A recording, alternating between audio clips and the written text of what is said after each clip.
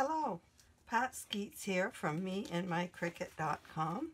Today we're going to do um, an album share and these are pages, I am going to do all these and they're kind of floral, spring and summer, that sort of thing. Um, make You can use them for other different types of pictures like I think this would be cute for kids or even camping, whatever.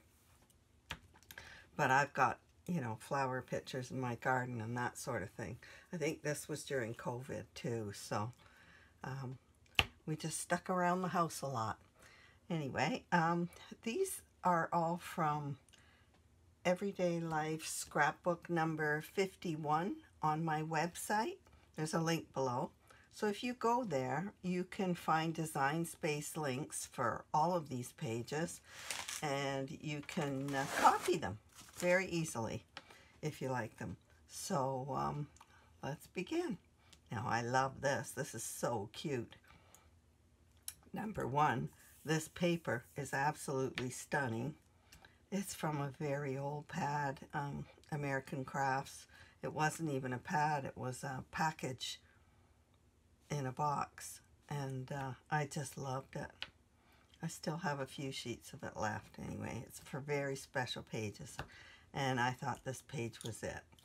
So um, these are just my garden photos and stuff, my planters. So um, I thought because of the yellow and the orange and red colors that this went perfectly and I decided to go with a bee theme just for fun found this great honeycomb frame in Design Space and just put some uh, honeycomb in larger size on top and then made a little border with it here.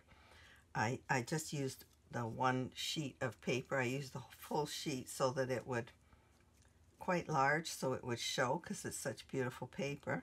So that's really the only uh, background image I have on here.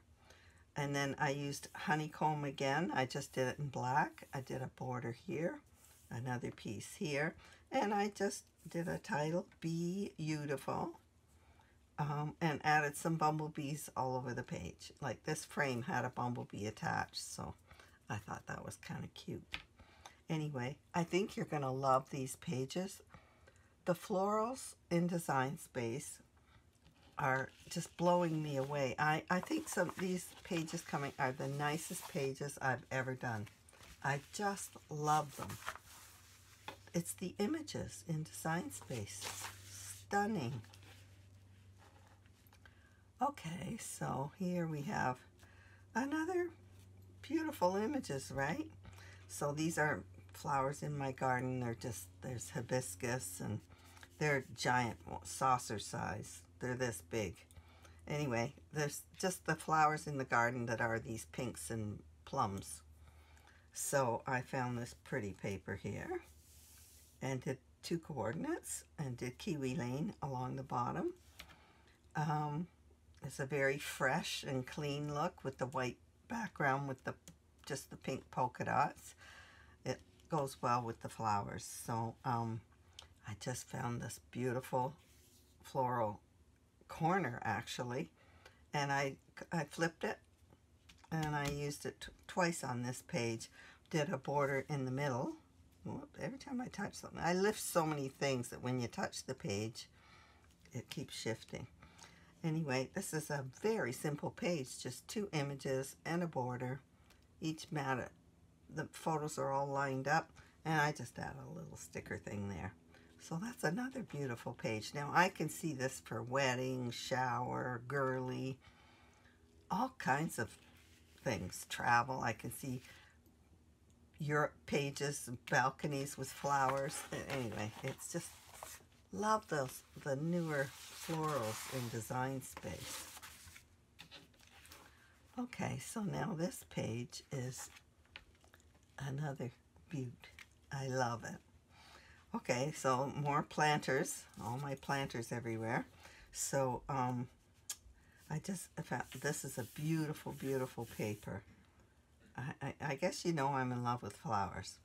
Anyway, I found this beautiful floral. It's quite tropical, actually. Yeah, there's a bird on it.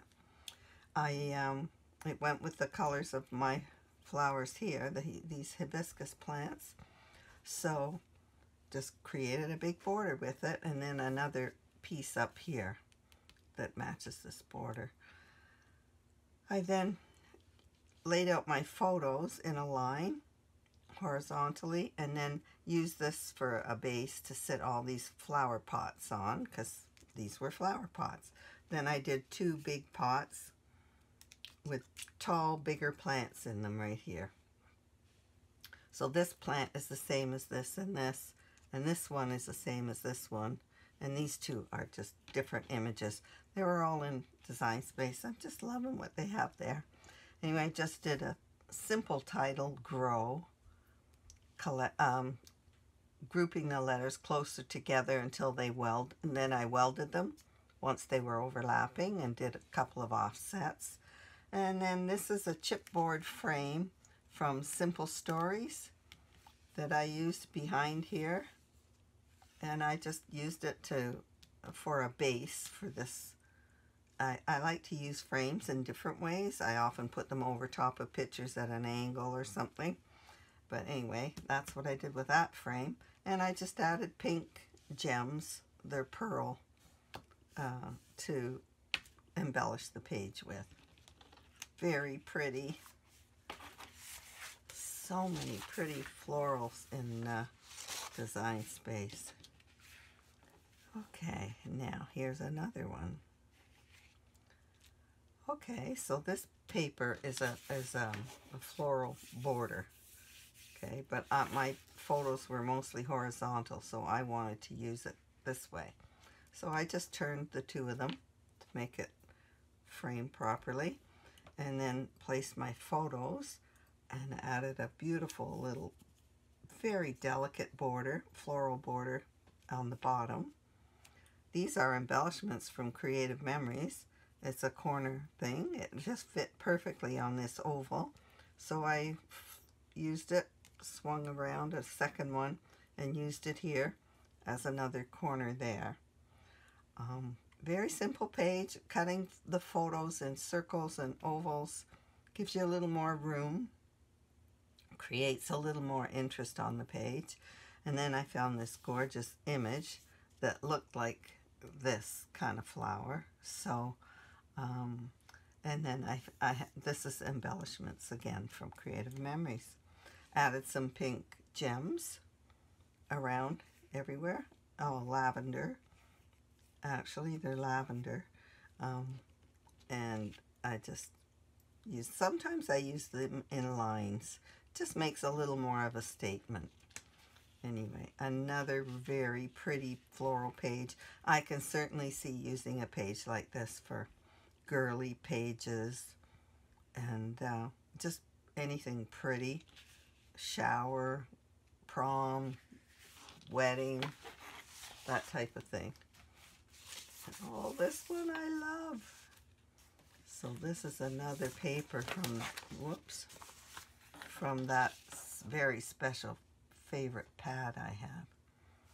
Um, there's not many sheets left, but this is one of them. Giant poppies. And these are my poppies. And then some other red flowers, so I put them all on this page. So, um, to use this large print paper, I used it in large pieces. So there's one there and one across here. And then I found these beautiful poppy images. See, the flower, these images are so beautiful now in Design Space. I'm flipping out over them. And look at this. This is a geranium, another geranium, a poppy, some other kind of flower. I just love this just love it. I think I created that out of different flowers and then I did an offset for it. So that's a beautiful border. And then here I just put a camera and photos like uh, uh, florals on each side. It just balanced nicely, made it created a nice big border like this over here. It added some uh, balance. And then this is just beautiful sitting there. Here's um, just a, a store-bought, this is a K and Company border that from my stash that I've had for a long time. So I used it here. It was the perfect page for it. Absolutely love, love, love this page. Actually, all these pages. The, this, the design space is just amazing. All the wonderful images. Okay, so here is more garden pictures. So I just did a huge mat for them all. Cut them into four by fours. Well, these three anyway. This I left bigger, and they're just my hanging baskets. So I ran them all along here horizontally, and one up there. And then I thought I would, I saw these images of windows and with cats, and I thought they were hilarious. So because I had this paper with all these hanging baskets, it went with, I had already decided to use this paper. Uh, so I thought I'll just put it inside the windows. I thought that was just, these images of cats are so adorable. And here's two cats in the window here. But I just did the black paper in behind all of them so that it ran right across the page. Now how simple is this? so easy. I didn't do much. I lifted these cats up put lifters behind them. But it, it's just adorable. And a very, very simple page. Didn't even mat these photos. Just this large one, but I didn't even... It, just worked out beautifully. I think this is adorable. You cat lovers might like that layout. And now we threw some sunflower seeds in the yard. And um, so we we just left a patch where we let them grow. We didn't cut the lawn around them. We just up to them and let them grow and they just grew so big. Anyway, this was the year we had sunflowers. I didn't do it again because it was in the middle of the lawn, but we feed the birds, so I thought it'd be good for the birds too. Anyway, this beautiful sun flower paper has bees on it and it's from the Graphics 45 bee collection. Um, yeah, it's just beautiful paper. So um, I love that. So I just made a border there, a bigger, wider border here, and then a skinnier border and a coordinate from this collection, same collection. Um, then I just found some images of sunflowers. And uh, so there's two of them here. This lovely image, I, I quite like that one. And then another one, these would be from the same um, cartridge that I found those. And then I just did a little embellishing right here.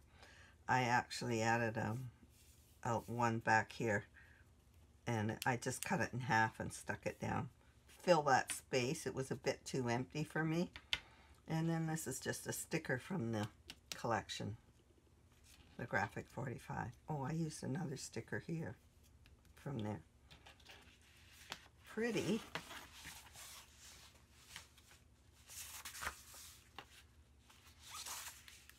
All right, and now we have daffodils. Okay, so these are actually some kind of a little lily, I think anyway, I used the daffodil images because I had this beautiful paper. This is from Stampin' Up. I loved it, so uh, a friend of mine sells it, so I asked her for this set. And this is really pretty paper, too. Now, this one, I think, is Creative Memories from the Yellow Bloom collection. Anyway, I had these old sticker titles. I think they're from dollar stores from years ago. I still have several, but it was pretty cute and I just put that beautiful on there. So this is just a shape from Cricut Design Space in the free shapes. I just cut one out there and one for here. And this is a frame from Elegant Edges. Just use that for a background. And then added my yellow flowers pictures here. There's a poker. Anyway, um, did a cluster around the base of this big daffodil. And then I used the same daffodil, flipped it, and made it quite a bit smaller for over here and did another cluster over here. And I used black uh, enamel dots all over it, here and there. And love this image with the three daffodils too. Cute. Very cute. Now, aren't these pretty? Even these would be beautiful for um, girly pages or showers, proms, bridal. Here's some in orange. Okay. So this is so pretty too. All right, here's my tiger lilies um, in full bloom, far away, closer, and right up close. and that's that poker, flame poker. I can't remember the name of it. Anyway, okay, so I used Kiwi Lane uh, paper, templates for the background borders, these wavy borders along the bottom. First, I found a, a multicolored print that had the orange in it and green that I wanted. So that was this. And then I found coordinates in uh, orange and uh, softer peachier color. So they all coordinate with this one. And then I found images of lilies. Look, perfect, same flowers. And these are like the poker Red Hot Poker, I think it's called. Anyway, these looked like those, so I embossed them and inked them to make them look a little more rough, like this. And then I just added gardening is my therapy. I've always loved gardening. Um, and then I, I created a little cluster with these little images here. These are from Creative Memories. I rep them, so I buy a lot of their embellishments. There's another one here. And then I just use some gems around and cut a border from, uh, that's a Creative Memories border. Just cut it in half, used half there. Just filling up the space and filled up space there with that. It just worked. It's cute fun pages. You could use that for camping too. Okay, so here we have some pretty birds, yellow finches. Um, all right, so this paper is not solid. It's a very fine grid. Um, and then I had all these, this birdhouse paper in yellow with little Tweety birds on it. I thought they were so cute. They're cartoony type birds. So I found an image of cartoony type birds and I just found some birdhouses. So I did a couple of big branches, hung some birdhouses from them all over the place to tie in with this paper. And then this is just a wavy border. I think it's Cascade. It's called from Kiwi Lane. I then, this is a border punch from Creative Memories, the border maker. I used, this is Simple Stories. Um, I buy their chipboard frames. Oh, I love them, so I use that here. I just sat a round photo on it. It just fills up space and it goes well with the yellow. And then I cut all my photos in circles, little circles, so they wouldn't hide all the, I'd have more room. I didn't want a, a four by six with all branches and just a little bird in it, so I trimmed them right down. Then I just used, this is the die that I have, and I just put some of the birdhouse paper in there too. So that was a lot of fun, and it's really cute. That could be great for a kid's page, playing in the backyard or a park. and now we have um, I had never seen a Baltimore Oriole in my life because I always lived in Toronto and uh, Vancouver, and they never, I was in the city, so I didn't see them. They don't like the city. So now I live in a small city, and I'm nearer the edge of town, and I guess I'm in a flight path. So We get them every spring. They don't stay. They go to my sister's house to stay. But I do love them. They're so beautiful. It's such a joy. So I have two Oriole bird feeders that I put out every spring. So I love taking pictures of them when I see them. And these are so cute. All right, so again, this paper is from Stampin' Up. Beautiful floral border paper. So I just fussy cut the whole thing and created a nice border across the two pages. And then these images of uh, daffodils are from Design Space. Love that. I just filled in all the space with them. And this is um, from Creative Memories. It's the yellow blue.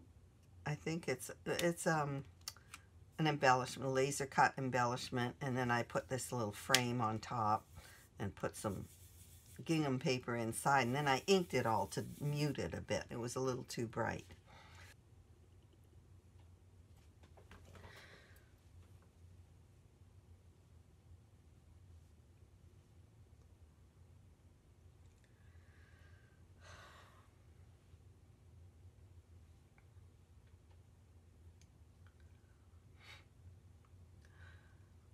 Okay, coming back. So I just created a title here. Orioles love oranges because that's what brings them. And then I did a little embellishment here with oranges and some leaves. Added some gems over here and over here in two lines just to complete the look. So I think that's really cute. Love my Orioles. Those of you who are lucky have them living right near you. Okay, so I have uh, a section of old photos from our family and um, I pull out one of the pictures every once in a while when I just need a change from what I've been doing because these are kind of heritage to me. This is my mother and her sister. And uh, so it's uh, kind of special to me.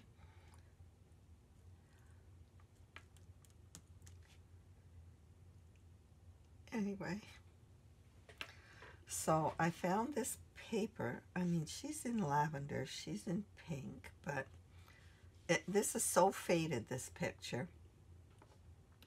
With their blonde hair, it, this seemed to go well with it. This brown and the flowers and the purple. It just seemed to work really well. Um, so I, I just thought this paper, the pictures just came alive when I saw this paper with it. So it's all embellishments from Creative Memories. This is a collection of theirs. So um, this border was perfect. These, it just was the perfect collection for these pictures. So I was very happy to find it. And I just put this sticker family here. It was pretty. I just kept, created a big corner over here and a little banner up there, a border across the top. It's an old picture, has a great big scratch in it, but it's precious to me. And it has a bunch of pearls on this little border here. So, oh, this, what I cut off of here, I stuck down here um, on this. So, just random putting pearls on pieces everywhere. It's, it's not, no Cricut involved here, just, just some uh, embellishments and I like it. It turned out okay. I really don't care for heritage page, pages. I'm actually kind of not comfortable with them because they're, I feel like I have to do them not my style. But this one worked out. I like it. Anyway, I hope you enjoyed looking at these and you can find the Design Space links on my website. So remember, Everyday Life Scrapbook number 51.